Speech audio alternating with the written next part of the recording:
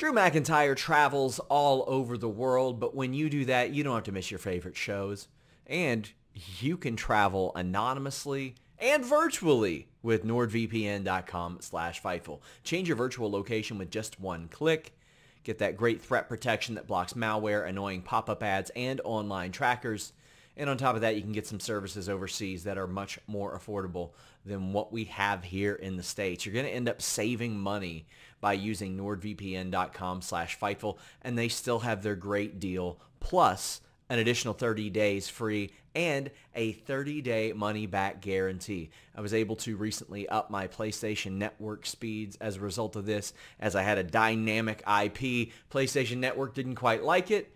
Got on my router because it's available on all your devices is nordvpn.com slash Fightful.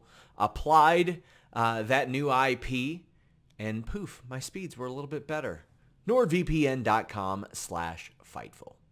What's up, you guys? Sean Ross Sapp, Fightful here with a name you know. We're at the Boys and Girls Club of Southern Nevada.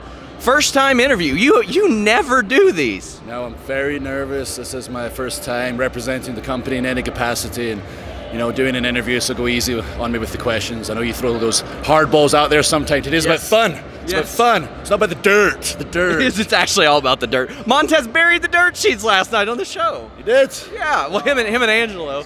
That's what gets me through the weeks, reading the headlines, especially oh, the ones about man. myself.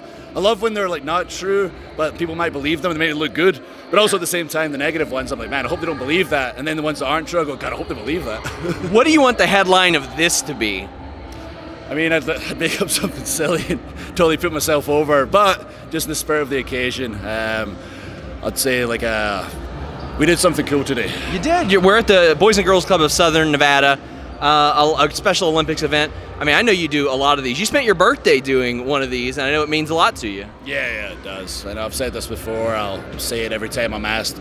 You know, growing up, I always wanted to be in the ring, winning the championships. It means so much to me what I do on television as Drew McIntyre. But you know, being the whole fired thing and getting perspective and being a little bit older and wiser these days is the stuff outside the ring where you make the real difference is the most important to me. And even though we technically have money in the bank tonight, and I freaking hate ladders, I freaking hate heights, and I sh- should be getting fully prepared. I see this as part of my preparation, and I love getting up early um, hanging out with everybody here. It's all about inclusion through sports. It's all about fun. You know, the Boys and Girls Club, Nevada, Special Olympics, unified together, and allowing WWE to come and hang out is very, very cool. And uh, we had talked off air. You've moved to Nashville. SummerSlam's in Nashville, it so it's a bit of a, a, it's a bit of a home field advantage for you. What drew you to Nashville? Uh, well, that nemesis slash friend slash nemesis of mine, Sheamus, has been living there for years. He's been prodding away at me. You know, you got to move here you know, it's a change of pace. We lived in Florida for over 10 years. Um, it's, you know, got the, the forest, the greenery. It kind of has similarities to Ireland and Scotland. And also, my wife's from West Virginia, so he kept kind of prodding at her once I said, I don't want to move, it's too annoying to move. And then finally, she got the final vote. We moved. I love it. Everyone's so friendly. It is a nice change of pace. It does remind me of Scotland. We're off away in the kind of countryside, so I enjoy it a lot. It's good to have that separation with how busy I am with my professional life and now being away from the thick of it in Florida and St. Petersburg, you know, and my personal life is very quiet now. That's cool. Now, I know a lot of people think that Europe is the size of a shopping mall, but they are going to the UK for Clash at the Castle. Not quite. Sc- not I mean, the- technically, you could fit the UK, the whole of the UK, into Texas three times, yeah. like one state.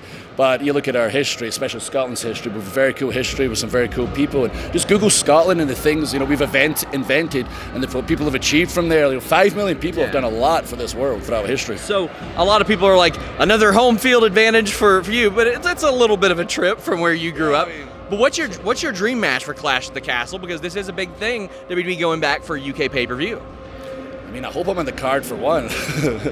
you can never assume anything in WWE. Yeah. Um, so yeah, I want to make sure I'm on the show. But you know, I have petitioned for this for a long time. I appreciate people that give me some of the credit for making it happen. I always say it's a team effort. It is a team effort at WWE.